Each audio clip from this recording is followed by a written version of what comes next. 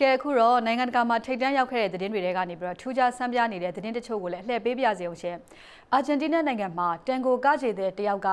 အမြင့်ပေ200ကျော်လေထဲမှာတန်ကိုအကကပြပြီးတော့ကမ္ဘာဂိန်းနစ်စံချိန်ကိုတင်ခဲ့ပါတယ်။ဘယ်လ်ဂျီယမ်နိုင်ငံမှာလည်းပေ160ကျော်အမြင့်အထိကိုဒီထမင်းစားစပွဲကြီးကိုကျိုးနေဆွဲပြီးတော့မှလေထဲမှာလူ200ကျော်ညစာစားခဲ့ကြပါတယ်။ဒီလိုမျိုးထူးထူးခြားခြားသတင်းတွေကိုနန်းလောင်နဲ့ကိုငင်းချမ်းတို့ကတင်ပြပါလိမ့်မယ်ရှင်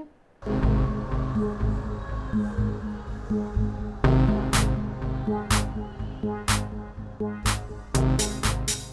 ရိကန်သမ္မတနဲ့အတူပူးပူးကက်ကက်တန်ကိုတွဲကခဲ့တဲ့အာဂျင်တီးနားတန်ကိုကချေတဲ့တူဟာအမြင့်ပေ200ကျော်လေထဲမှာကျိုးနဲ့ဆွဲထားတဲ့၄တောင်တန်အိမ်နဲ့တန်ကိုကပြခဲ့တဲ့အတွက် Guinness ကမ္ဘာစံချိန်မှတ်တမ်းဝင်သွားပါတယ်။အာဂျင်တီးနားကနာမည်ကြီးကြောက်တိုင်ဘေးနားမှာလုပ်ခဲ့တဲ့ဒီပွဲမှာကချေတဲ့မိုရာကိုဒီဟာလေထဲကတန်အိမ်ထဲမှာကပြခဲ့တာပါ။သူတို့နှစ်ဦးခစ်ပေါ် electronic တန်ကိုအကနဲ့ကနေတာကို Guinness မှတ်တမ်းက ကိုယ်စားလှယ်ကလည်း အောက်ကနေ စောင့်ကြည့်နေခဲ့ပါတယ်။ဂိုဒီဟာ အိုဘားမားနဲ့အတူ ပြီးခဲ့တဲ့ မတ်လမှာ ကပြခဲ့တဲ့အတွက် ကမ္ဘာထိပ်တန်းသတင်းအဖြစ် ပါလာခဲ့တယ်လို့အင်တာနက် အွန်လိုင်းမှာလည်း နာမည်ကြီးသွားခဲ့တာပါ။သူက သမ္မတအိုဘားမားဟာ တော်တော် ကတတ်ပါတယ်လို့ ချီးကျူးထားပါတယ်။အရင်တုန်းက အဲ့ဒီလောက်အမြင့်မှာ တန်ကို ကတာမျိုး မရှိပါဘူး။ Guinness မှတ်တမ်းအနေနဲ့ အခုမှစုအမျိုးအစားသစ်တစ်ခု ဖန်တီးပြီးအ ਨੇ ဆုံး ပေ150ကျော်အမြင့် ဖြစ်ရမယ်လို့ သတ်မှတ်ခဲ့တာ ဖြစ်ပါတယ်။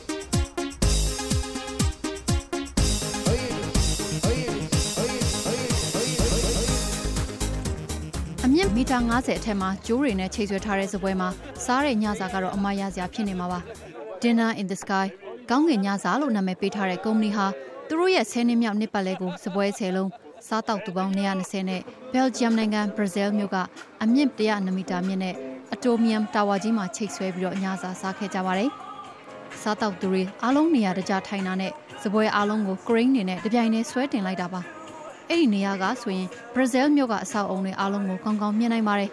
ဒီပွဲအတွက်လက်မှတ်တွေအားလုံးရောင်းကုန်ခဲ့ပြီးတော့ဝိုင်နဲ့ရှမ်ပိန်ပါဝင်တဲ့အပြင်အမျိုးအစား၅ခုပါတဲ့ညစာအတွက်တယောက်ကိုဒေါ်လာ300ကျော်လောက်ကျတင်ပါတယ်အစပိုင်းမှာတော့နည်းနည်းကြောက်နေပြီးဝိုင်အနှဲငယ်တောက်ပြီးတဲ့အခါမှာတော့အားလုံးကောင်းပါတယ်လို့ပါဝင်ခဲ့တဲ့ဧည့်သည်သူကပြောပါတယ်။မိုးပေါ်မှာစားတဲ့ညစာအတွေ့အကြုံကိုဘရာဇီးမြို့ကဒေးဗစ်ဂတ်ဆာက2006ခုနှစ်မှာစတင်ခဲ့တာဖြစ်ပြီးတော့အခုခါနိုင်ငံပေါင်း56နိုင်ငံမှာစားတောက်နိုင်ပါပြီ။ အခုလိုဆယ်နှစ်ပြည့်အခမ်းအနားကိုဂျွန်လတရက်ကနေ9ရက်နေ့ထိကျင်းပမှာဖြစ်ပြီးတော့ဧည့်သည်ပေါင်း4500လောက်တက်ရောက်မယ်လို့ခန့်မှန်းထားပါတယ်။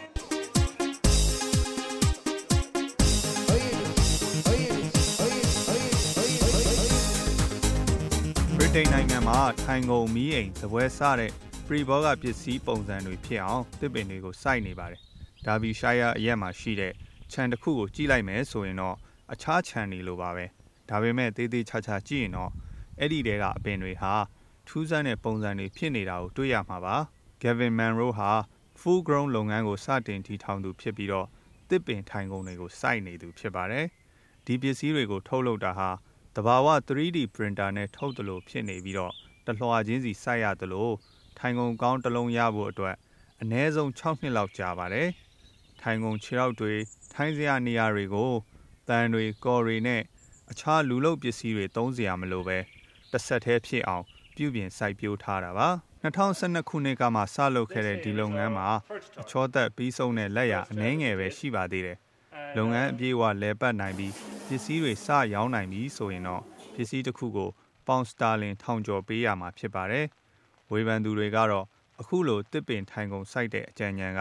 အသက်ဆန်းမဟုတ်သလိုအရင်ဝီတိုရီယာခေတ်မှာတော့တဘာဝကိုပြုပြင်နိုင်တယ်ဆိုတာနဲ့ကြွယ်ဝချမ်းသာမှုကိုပြကျင်တာကြောင့် လုပ်ခဲ့တာမျိုးတွေရှိတယ်လို့ပြောပါတယ်။ Gavin နဲ့သူ့အဖွဲ့ကတော့ Pre-ball ကပစ္စည်းတွေစိုက်ပြီး စီးပွားဖြစ်မယ်လို့ ယုံကြည်နေပါတယ်ခင်ဗျာ။